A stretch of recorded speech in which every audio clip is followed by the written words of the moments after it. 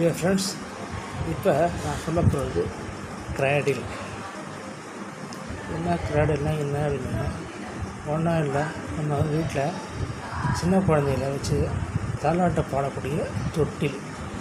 தொட்டில் கூட இல்லை இந்த சேலையில் கட்டி ஆட்டுவாங்க குழந்தைகள வச்சு. பாட்டு பாடி ஆட்டுவாங்க. இதை நீங்கள் பார்த்துருப்பீங்க. எல்லாரும் வீட்டு குழந்தைகளையும் நீங்களும் தூங்கியிருப்பீங்க எல்லாரும் குழந்தைகளையும் தூங்க வைப்பாங்க. இந்த இதுக்கு ஆனான்னு சொல்லுவாங்க யானான்னு இன்னும் ஒவ்வொருத்தவங்க ஒரு பேர் சொல்லுவாங்க. எனக்கு அதை பற்றி சரியான தெரியல. இந்த பாட்டு பாடியும் இந்த ஒரு சாலையை ஒரு மரத்துலேயோ அல்லது வீட்டு வா இரவானத்துலேயோ இங்கே கட்டிடுவாங்க கட்டிட்டு அதில் ஒரு குழந்தைய போட்டு ஆட்டுவாங்க பாட்டு பாடிங்க இது நீங்கள் எல்லாருமே பார்த்துருப்பீங்க. இல்லை நீங்களும் ஆடிருப்பீங்க. அது தெரிஞ்சுப்போம். இதை பற்றி தான் இப்போ இந்த வீடியோ நான் போட போகிறேன் தயவு செஞ்சு சப்ஸ்கிரைப் பண்ணாதீங்க. சப்ஸ்கிரைப் பண்ணிவிட்டு பெல் பட்டன் எடுத்துங்க தயவு செஞ்சு ஏன் இதை நான் சொல்கிறேன் எல்லாருக்குமே இது இதுனா எனக்கு தெரியாதா? இந்த க- இந்த து துளியில் ஆடுறது எங்களுக்கு தெரியாதுங்களா? இதை போய் என்னத்துக்கு பெருமையாக சொல்லிக்கிறீங்களா? அப்படின்னு கேட்குறீங்களா இது சாதாரணமாக நீங்கள் தூளின்னு நீங்கள் நினைக்கிறீங்க. இதோடைய பேக்ரவுண்டு என்ன? அதெல்லாம் இன்றைக்கி நமக்கு கிடைக்காத பல விஷயங்கள் என்ன? கிடைச்ச பல விஷயங்கள் என்ன? ஏன் இவைகள் கிடைக்கல? இவை ஏன் கிடைச்சதோ நம்ம பயன்படுத்திக்கல? இவைகளை பற்றி தான் இந்த வீடியோவில் நான் பார்க்குறேன் போகிறேன் முதல்ல நமக்கு கிடைத்தது. இதை பற்றி நான் சொல்லும்போது நீங்கள் நினைப்பீங்க என்னங்க ஒரு புடையை கட்டி அது பீஷா புடைய ஒன்று கட்டி கட்டி மரத்தில் தொங்க விட்டு ஆட்டின்னு இருப்பாங்க கிராமங்களில். நீங்கள் பார்த்துருப்பீங்க.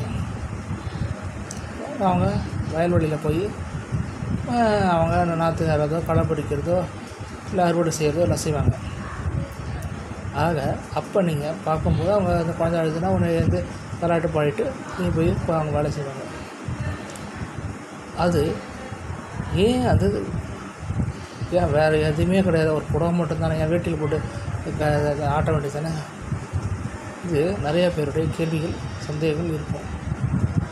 ஒரு தாயின் மடியில் படுத்து உறங்கக்கூடிய அந்த சுகம் ஒரு பெண்ணுடைய சேலையில் இருக்கிறது.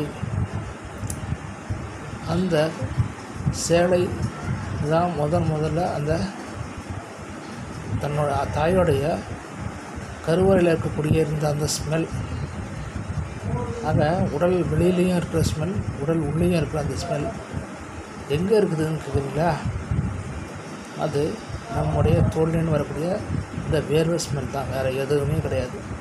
அந்த ஸ்மெல் நம்ம உடலுக்குள்ளேயும் அந்த ஸ்மெல் இருந்துகிட்ருக்குது பெண்களாக இருக்கட்டும் ஆண்களாக இருக்கட்டும் அந்த ஸ்மெல் வந்து அந்த குழந்தைகளை தாக்கும்போது அந்த சுகம்தான் அந்த குழந்தைக்கு தூக்கம் வர வைக்குது. அந்த சுகத்தை அந்த கிரேடியில் படுத்து ஆடும்போது அந்த நிம்மதியான அந்த சுவாசம் தாய் மடியில் படுத்திருக்கிற மாதிரி ஒரு சுகம் அந்த குழந்தைக்கு ஏற்படுது. அந்த குழந்தைக்கு ஏற்படும்போது அது அந்த சந்தோஷமான தூக்கத்தில் அது நிம்மதியான லைட்டான ஆட்டம். ஆடும்போது அது என்ன ஆகுதுன்னா தாயோடைய மடியில் தாயோட வயிற்றில் படுத்திருக்கும் பொழுது தாய் நடக்கும்போது ஏற்படக்கூடிய அதிர்வுகள் மாதிரி அந்த குழந்தையோடைய அந்த ஆ- லைட்டான ஆட்டம் இருக்கும். புரியுதுங்களா? ஏன் அந்த குழந்தை தூங்குதுன்றதுக்கு காரணம்? அப்படி தூங்கும்பொழுது அந்த குழந்தைகள் நிம்மதியான தூக்கம் தூங்குது. அந்த நிம்மதியான தூக்கம் தூங்கும்போது மூளை வளர்ச்சி நல்லா இருக்குது. அந்த குழந்தையுடைய அறிவு நல்லா இருக்குது. அந்த குழந்தை மேலும் மேலும் வளர்ந்துக்கிட்டே இருக்குது.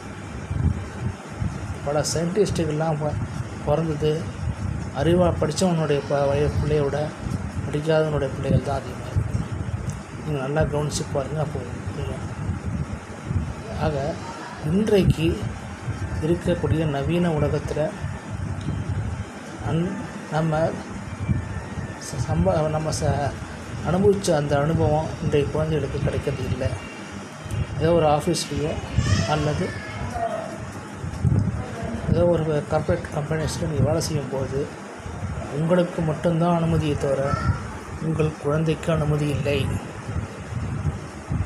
உங்களுடைய சுவாச காற்று அந்த குழந்தை மேலே படுவது இல்லை நீங்கள் சம்பாதிக்கிறீங்க ரைட் அதை பற்றி நான் சொல்லல. உங்களுடைய தேவைகள் எவ்வளோ வந்தாலும் போதாத ஒரு பற்றாக்குறை இன்றைய சமுதாயத்தில் இருக்குது. அதனால் நீங்கள் போய் சம்பாதிக்கிறீங்க. அதை பற்றி நான் குறைய சொல்ல வரல. ஆனால் உங்களுடைய நீங்கள் உங்களுடைய அரவணைப்பை அந்த குழந்தைகிட்ட எந்த அளவில் காமிச்சிருக்கிறீங்க? உங்களுடைய பாட்டுகளை அது எத்தனை தடவை கேட்டிருக்குது?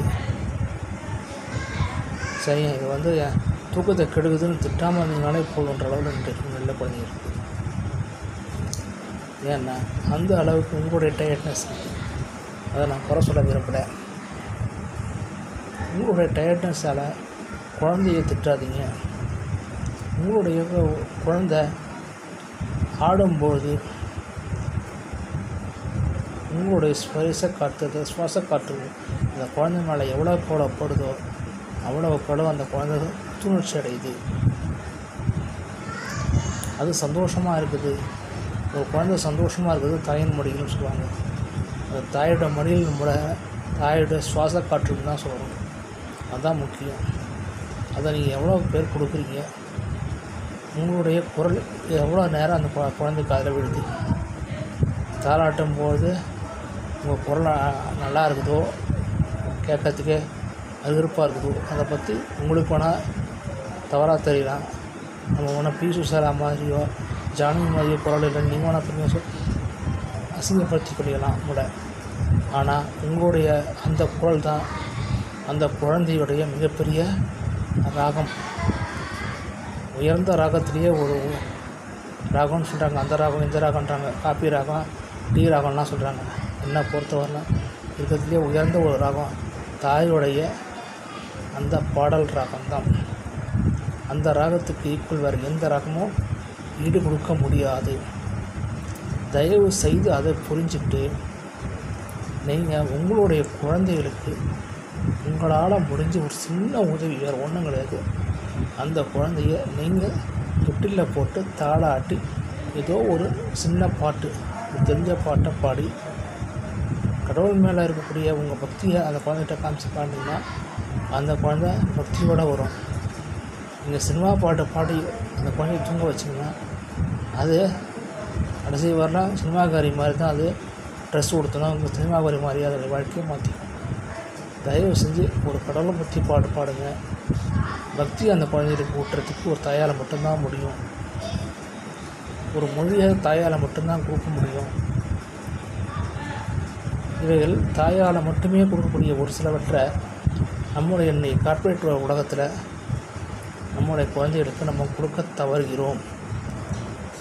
நம்ம தாய்மொழியையே கேவலப்படுத்திட்டு இங்கிலீஷ் தான் உயர்ந்தது அப்படின்னு சொல்லிட்டு இங்கிலீஷில் பாட்டு பாடுறதும் இங்கிலீஷில் பேச சொல்லி அதை பெருமையாக கேட்டுக்கிறதும் நம்ம வேணால் பெருமையாக நினைக்கலாம்.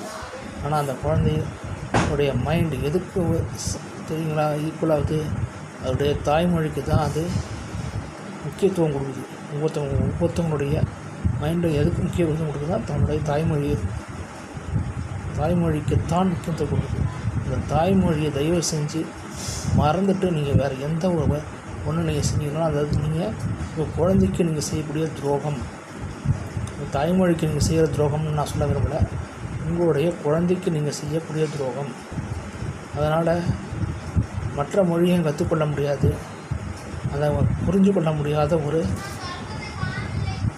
ஒரு முட்டாளான ஒரு குழந்தைய நீங்கள் மாற்றாதீங்க தயவு செஞ்சு புரிஞ்சுக்கிட்டு இனிமேவாது உங்களுடைய தாய்மொழியில் அந்த குழந்தைய கொஞ்சறதுக்கு முயற்சி பண்ணுங்கள் தயவு செஞ்சு பிடிச்சிருந்தா லைக் பண்ணுங்கள் கமெண்ட் பண்ணுங்கள் தயவு செஞ்சு திரும்ப சொல்லிட்டா சப்ஸ்கிரைப் பண்ணிவிட்டு பெல் பட்டன் தேங்க்யூ